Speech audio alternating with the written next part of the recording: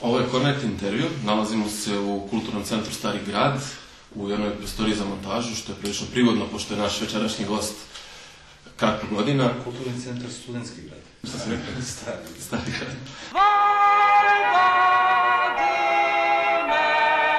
Kulturnom centru e, Studentski grad, sa nama je Karpo godina. Pored brojnih radova na montaži i fotografiji, karakteriše vas pa subverzivni moment u svakom skoro filmu.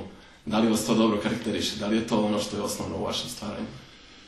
Pa, nekako, ne znam, e, to se nalepilo na moje radove, e, a nije to nekako, nisam htio da dobijem taj pečat, jednostavno sam radio filmove i još uvijek radim filmove koje ono radim onako pošteno i kao što mislim. Sad, kako se to etiketira, to je onda stvar kritike ili, ili politike, ne znam, mislim. Tako da, mi baš i nije drago što sam ovako etiketiran, nego da se ne priča više o recimo estetici, o sadržaju i tako dalje, nego jednostavno se da taj pečat pa se onda tako i ožigosan.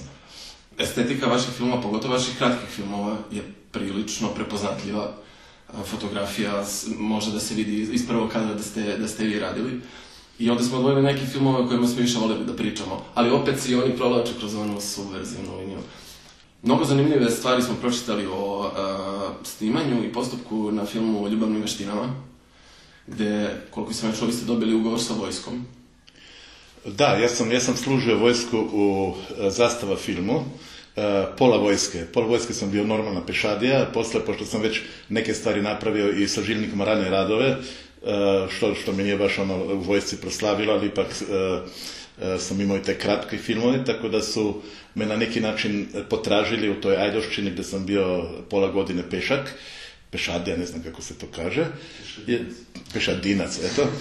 I tako sam onda došao tu zastavu film i onda sam otkrio časopis Front i rekao sam, pošto sam za druge sam onda radio, ja sam i montirao filmove i snimao i tako dalje, rekao sam, a mogu i ja neki film da napravim, pa sam u Frontu pročitao taj problem da e, postoji neki grad, to je Štip, u Makedoniji gdje ima uh, 7000 devojaka i recimo uh, barem toliko vojnika i da nema nikakav kontakt.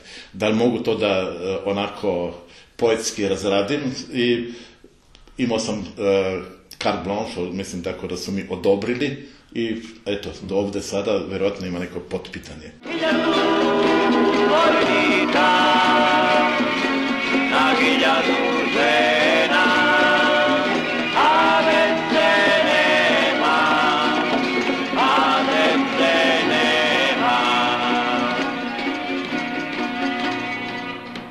da li, je- da li je vojska očekivala takav film?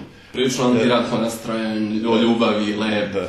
E, Scenarij je bio lepo napisan po tom članku, onako kako je ono to, e, sve lepo e, je bilo kao spakovano i bilo je onako jako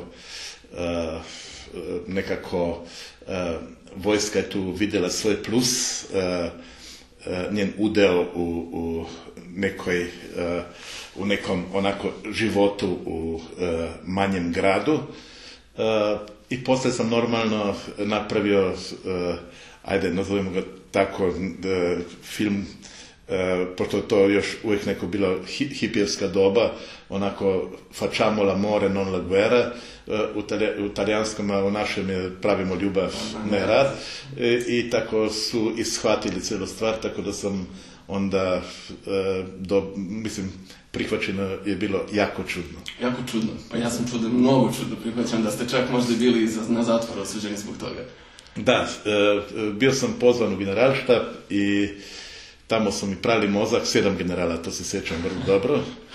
I onda me e, dramaturg e, koji je bio civil e, zastave filma spasao jer je zadnji čas došao kad je doznao da sam tamo na tom saslušanju i pola sata im je pričao o slobodi e, umjetničkog izražaja i e, te one nebuloze.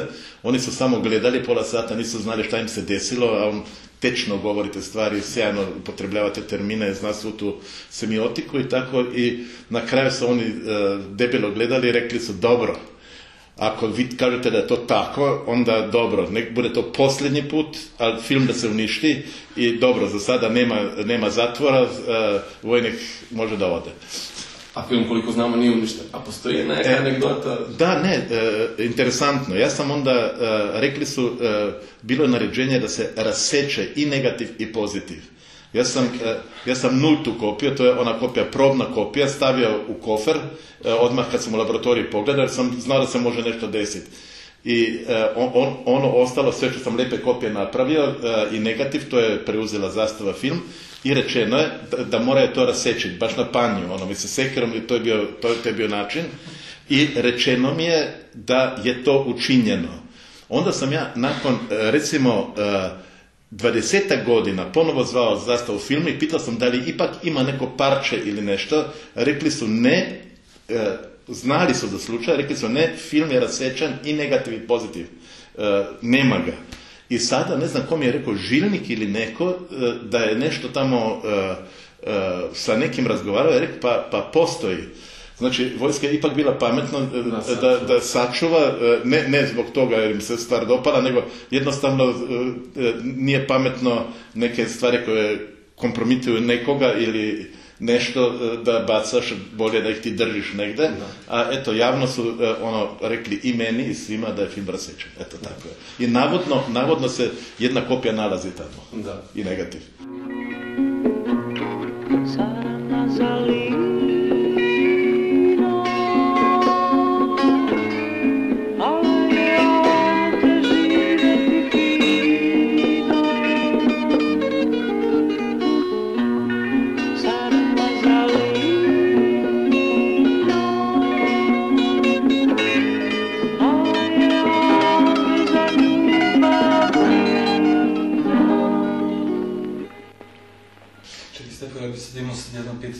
U vezi sa ovim filmom isto.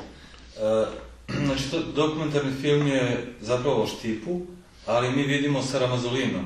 Da, to je... ste odabrali tu oblast, vjerovatno zato što je zanimljiva zbog imena i zbog izgleda. Da, e, kad sam se vozio na taj vojni poligon e, Krivolak, to je sada mislim da ga i NATO koristi i tako dalje. To je jedna površina, ono kao da je, da je na mjesecu i to je ono ogromna površina između Štipa i ide tamo do Titovog Velesa na onu stranu, ogromna površina. I e, kad ideš ti prema Štipu, naletao sam na Saramazalino e, na kraj i to mi se toliko dopalo da poslije kad sam e, sa Vranješevićem napravio muziku, rekao sam ajde da upotrebimo ono ne- nešto onako egzotično, da je to negdje na luni skoro i tako je onda u pesmi taj Saramazalino se otpevao, a ono je jako blizu e, e, toga štipa, tako da da, to nije ono ukradeno neko ime šta ja znam iz nekog drugog kraja juge, nego Kao zvuči. da, da, da, ne, ne, jednostavno i meni je onako. I sad kad sam otišao pre dve godine na, na festival, šta ja znam, nešto su me nagrađivali za životna dela u Strumici, e, ponovo sam prošao tim putem i tabla lepo još stoji, tako da kraj je još tamo, tako kao dokaz da, da, da nismo ono izmišljeni.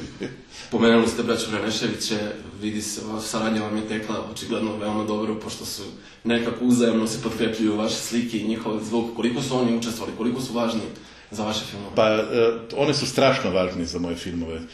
E, ja sam, na neki način prvi sam ih nekako e, nanjušio da bi moglo e, to u, filmu, njihova muzika, pošto kad sam radio već rane radove u Novom Sadu, ja sam ih upoznao, pa tako je onda to poznanstvo krenulo. I kad smo napravili Zdrave ljude za razonodu, i, i, i taj vojni film, e, oni su mi radili onda muziku i u dva igrana filma i to potpuno drugog žanra, a radili su mi još onda e, e, ceo serijal televizijski e, Ram za nekoliko poza i to je bila stvarno onako saradnja koja je jedno, mislim, mene nadahnjivala i njih, tako da smo uzajemno, mislim, onako se trošili.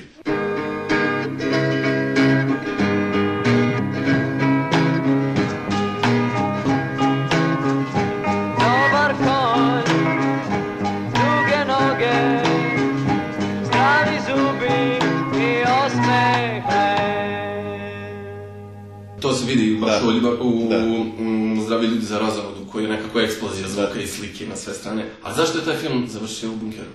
E pa to su uvek, mislim, ono, zagonetke e, tog vremena.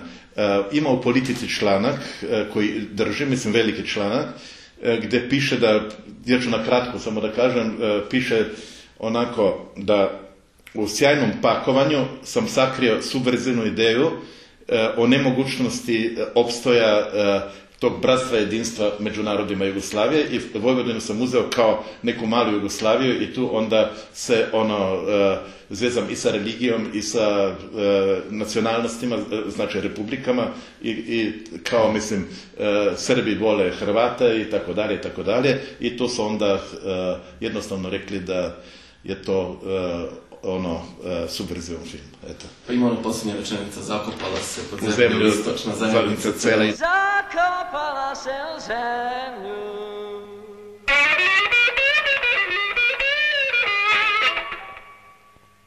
Istočna zajednica cela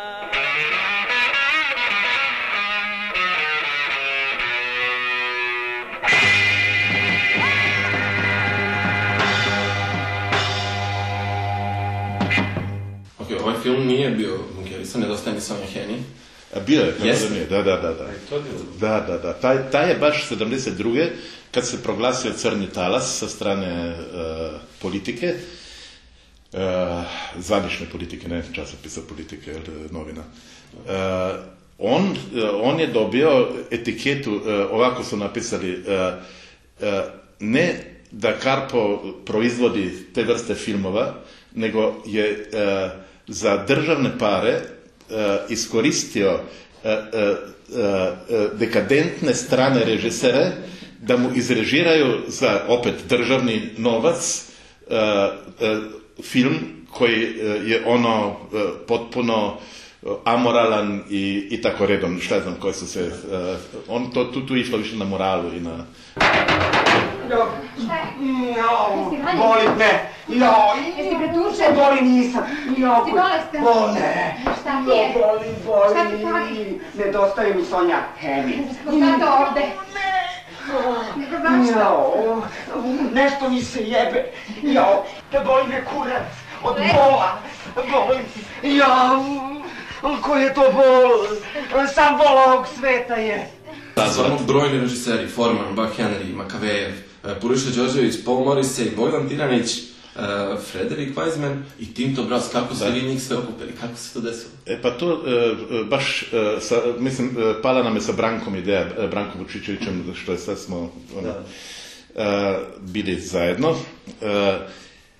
To je došlo do toga tako da sam rekao, eto tu dolaze sada, to je fest, fest je onda bio strašno jak i to je bio tek drugi fest. I tu su onda posjećivali e, taj festival, to je bila egzotika za, za, za, za ceo svet da su mogli da uđu u Titovu Jugoslaviju i tako da su rade volje dolazili, a i doznali da su da se lepo živi, da, da ono, e, taj festival ima ono, e, da su gostoljubivi, ono, da se klopa, da se pije, da se banče i tako dalje. I to sve, to je bio ono veliki mamac. I e, ono smo rekli, e, organizator će otići sa cjedulicom na aerodrom i čim sleti neko, ćemo dati tu cjedulicu gdje smo postavili uslove da li bi oni sudjelovali. I za čudo svi su mi rekli da, da, da, da sam budala, mislim da to neće niko e, mislim, e, prihvatiti, a prihvatili su svi. I onda smo to radili ono posle svih projekcija, posle bančenja na jednom potkrovlju pored atelija 212 e, od 3 ujutro recimo pa negdje do 6-7 tako da i onda se otišlo malo na spavanje.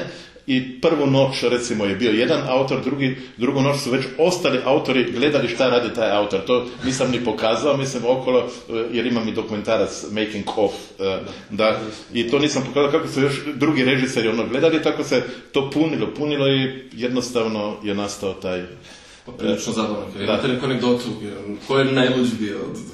Pa najluđe, najluđe je bio baš, baš Miloš Forman i Buck Henry, mislim, sad neću o njihovim ljubavnim avanturama, da pričam i o političkoj, mislim, ono, jednoj mak je probudio e, Formana jer je doznao da je policija i pošto e, nije imao neke ispravne dokumente Češke, Forman i tako dalje, zamalo da beži odmah prvim avionom i tako dalje, mislim, svašta je bilo. E, baš sa snimanje da ode, da. Kako mi nedostaje Sonja Heni. Nedostaje mi Sonja Heni. Sonja Henning. I miss Sonja Henning.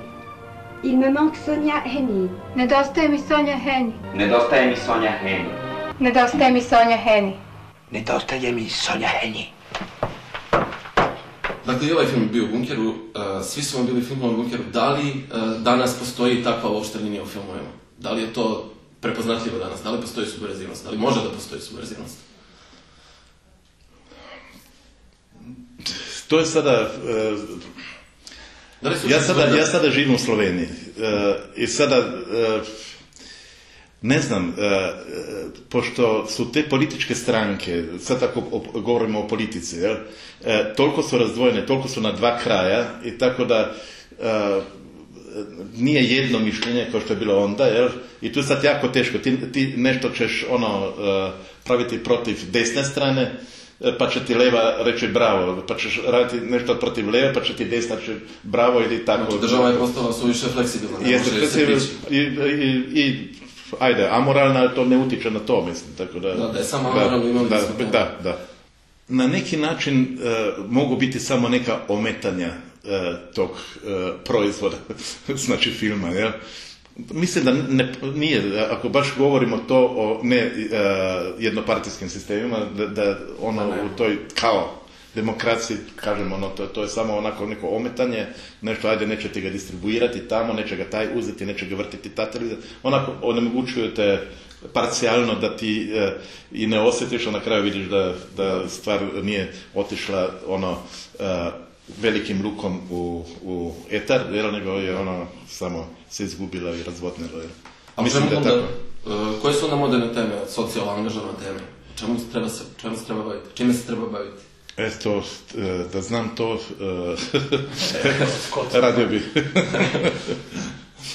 Pa i vidimo da nema to 2003. Da, mislim, jer ja mislim da ne može baš film da, da e, direktno utiče, mislim ima nekih e, onda razmišljenja i tako dalje, da, da bi e, sam po sebi bio ono što sad, su te moje filme nazvali subverzivnim, jel, da bi, da bi stvarno utjecao i bio subverzivan, teško. Teško, mislim, to, e, kažem, fragmentarno može neki, neki kamenčić da pomeri nešto, neka razmišljanja kod nekih, nekih ljudi, ali da bi ono, e, e, ono se proširio ovako njegov utjecaj nekog filma, to, to je teorija. Ova su najlepša na celom svetu. Trčkara sunčano radostan, hrlim mladu susret letu. Da li očekujemo uskoro nešto novo od Karpa godine? Da, š- e, izne- iznenad, iznenađujuće je to da sam, ono, da mi je e, prihvaćen tekst za celovečerni film i tako na, u proljeće ga režiram, a možda i snimam. Odlično. Eto. Puno hvala, bila velika čast. Dobro.